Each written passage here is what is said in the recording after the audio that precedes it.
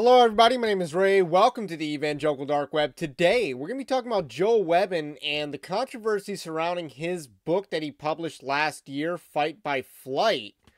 And I got to say, we're a year after publishing. That book has been pretty vindicated, in my opinion. So, we're going to dive into some of the evidence that seems to favor the strategy of uh, fleeing hostile areas and moving to safer areas, and that many people in the United States are doing right now.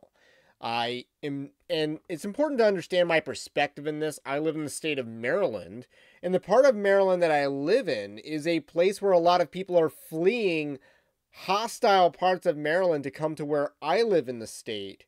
Um, so that's kind of where I live in the state, but I'm also you know, again, I live in an area that would be hurt by people doing this strategy. And that's because 40 minutes in any direction and you would have a better life. You know, you can get to Pennsylvania, West Virginia, Virginia, and probably have a much easier time uh, than you would in the state of Maryland. So I live in a state that would be hurt by uh, Joel Webbon's strategy, yet nonetheless, I can't help but admire the strategy and, you know, I definitely support people doing that. I who am I to say that you can't leave and move your family to have a better life? Who am I to say that? Uh, no one, really. So we're going to dive into that, but first I want you to know Evangelical Dark Web is a Christian news gathering and commentary ministry. You can support our work over at evangelicaldarkweb.org slash join. That's linked in the description below. The Zealot and Peacemaker tier patrons can get a free autograph copy of my book, Winning Not Winsome, which I highly recommend you all get. Uh, it's linked in the description and it is a book about spiritual warfare. And I don't necessarily talk about uh, fight by flight. You know, I don't necessarily talk about moving from blue states into red states, but I do talk about, you know, making sure you're in a good church and how to do that. I do talk about uh, a lot of different ways that Christians can uh, build institutions and and strategies to uh, deploy and where to deploy our resources a lot of stuff that I talk about, small little changes. Most of it is all small things that we can change to make a big impact. It is for a, it. This book is a very good return on your investment. It's only nine dollars on Kindle, but the paperback is coming out next week. But the patrons can get a uh, signed copy, by the way, if you're a zealot or peacemaker tier. So, with that said, I wanted to dive into this post. Uh, and this is from Eric Daugherty, and he gives a forecast for the 2023 apportionment. So every 10 years, the United States does a census, and this census is what the congressional representation of the House of Representatives is based on. So as you can see from this, the blue states are getting hammered. This projection is that California will lose four seats. Uh, Oregon will lose one. Minnesota will lose one. Illinois will lose one. Pennsylvania loses one. New York loses three. And Rhode Island loses one. Now, Rhode Island would be relegated to only having an at large district under this uh, thing. Uh, and we'll talk about what this would mean for the Electoral College if anything close to this even manifests. I, I just find this to be very fascinating. The biggest benefactors are Texas at four and Florida at three. Texas gaining four congressional seats in one 10 year span after already gaining a couple at least on the last one. And then Florida gaining an additional three seats in the House of Representatives. Like, people are moving. And there's a lot of transients going on right now. Idaho gaining another congressional seat. That's a pretty big deal. Utah get, gaining another another big deal. That would be their fifth, I think. Uh, Arizona gaining another one. Again, people are moving south because air conditioning is awesome, and these red states have much better. Uh, they're they're much more better governed. Uh, Tennessee again, conservative Inc. loves Nashville, Tennessee, and I can't really blame them Nashville or Tennessee seems like a good place to live. Uh, North Carolina is perhaps the only state experiencing urban sprawl on a systematic level. Like it's everywhere in uh, North Carolina, yet it has remained reliably red. And I, I think uh, we're going to get Mark Robinson over the finish line in that gubernatorial race, and that dude looks like a Christian prince, perhaps. And then Georgia plus one, that's the one I'd be the most worried about because Georgia is not a state I think can stay Republican for long. I'm a little worried about Georgia in particular. Uh, a lot of the passers in Georgia are pretty weak. Uh, Andy Stanley in that orbit is mainly what I'm referring to, but you also have Louie Giglio out of uh, Georgia. So, again, not exactly the best uh, church, uh, mega church culture down in uh, Georgia, but don't be going to uh, aspiring mega churches, you people. But this map just shows that people are implementing this strategy that Joe Webbon talked about in his book, uh, Fight by Flight, and is having a difference. It is going to have a difference. Now, I'm not confident this much will be reapportioned in the next uh, thing. This is a, based on 2023 population estimates, and it's also a forecast. So there's a lot of variables that could change a lot of times forecasts are based on the rate of things happening. Now, I think the rate of it will slow down, but Minnesota is a state that a lot of people are leaving. Andrew Isker famously announced, not famously, but he went viral for announcing that he's moving from uh, Minnesota to, I believe, Kentucky, if not uh, Tennessee, but along the Appalachian uh, mountain range in one of those states.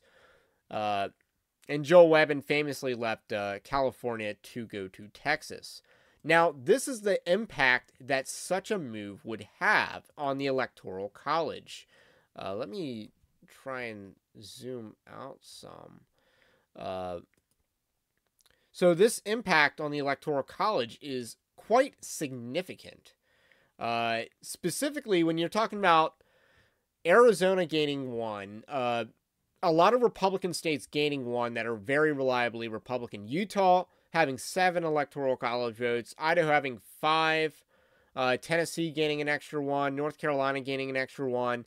These would be significant impacts, but Florida becoming a reliable Republican state, having 33 electoral college votes, and Texas being pretty reliably red as well. And I think that's going to continue.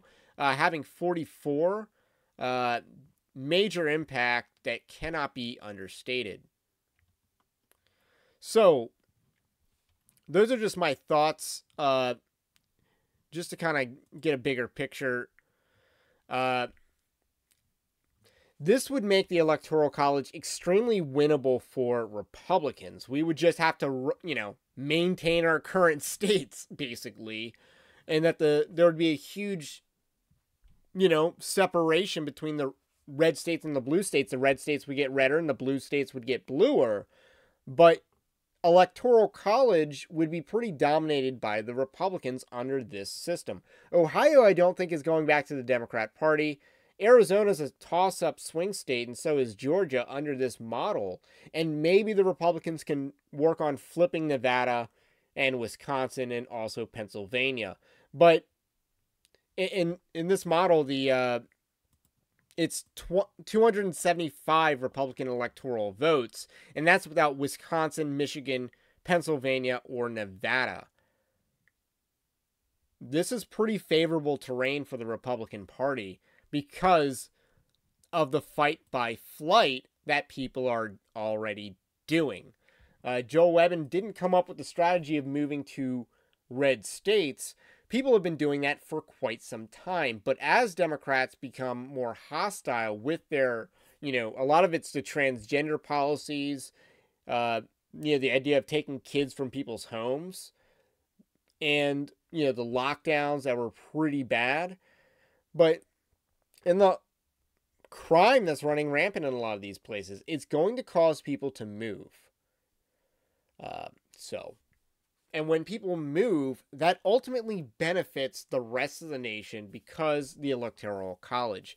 Uh, Redeem Zoomer's gone pretty viral lately because he has stated that, um, he has stated that, you know, the rurals don't matter. That people who move to rural places aren't make going to make a cultural impact. And he talks about how Tim Keller was right about, you know, the emphasis on the city. Now, this is completely wrong in my opinion. So, Redeem Zoomer's had a lot of cold takes. I still like the guy, admittedly, but he's had a lot of cold takes. He says ruralist conservatism accomplishes nothing. It's not bad to be rural, but whoever owns the cities controls the culture. Tim Keller was right about that, and I just think no, Tim Keller was wrong about that. Uh, my response to this is Tim Keller was wrong about that. The communists in China won because they dominated the rurals, while the nationalists thought coastal city strongholds would prevail. Trump, 2016, ran the tables in rural regions and won. Uh, and, you know, other people talk about Franco also dominated the rurals first. So you got to recognize that there is more you know, and, and also in a civil war, the rural areas are better to hold and better to start from than the urban population centers. So, if we have a red versus blue civil war, advantage reds. But overall, fight by flight is a viable strategy. It's, you know, might be derided as retreatism by people like Redeem Zoomer, but it's advancing in a different direction. If enough people move, the Electoral College can get dominated, and then the Democrats won't be able to get elected at a presidential level. This also might be the cycle that ends the ability for the Democrat Party to control the Senate on any level because three of the st- states up uh, seats up for grab are Montana, uh, Ohio, and West Virginia. These three states should be easily mopped up by the Republican Party. Uh, Manchin is not running in Ohio, so that should be a pretty easy flip. And that's just if they don't flip, you know, the other seats. I don't think the Republicans will take Arizona. And I had my prediction as well. Uh, and this is on Gab, by the way. Uh, and who knows if the Republicans can win this election because it is tough, and I think Trump is making it harder than it should be uh, because I don't think the messaging has been great. But nonetheless, the Republicans seem pretty confident in Arizona, and I, I think they can reliably win Arizona. I also think uh, Virginia and Michigan are safe Democrat bets.